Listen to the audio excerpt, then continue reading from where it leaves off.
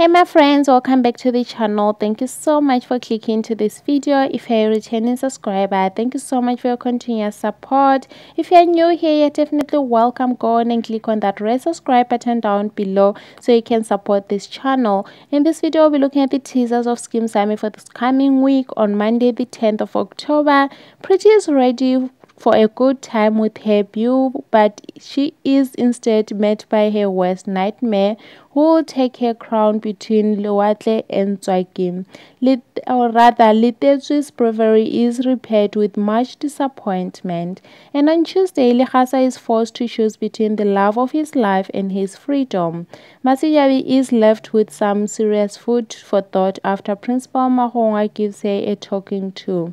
Elizabeth encounters a dreamy new young man at the hospital, and on Wednesday, Kwesi tries to play the seduction card but fails dismally.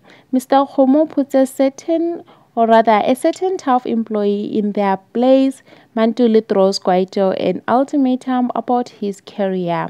And on Thursday, with the trial looming, Lekgasa fears it is the end of him. The literacy project is quite all fired up. Something is off about Dr. Thobakgale's new patient. And finally on Friday, Lekgasa's looming trial weekends havoc in his personal life.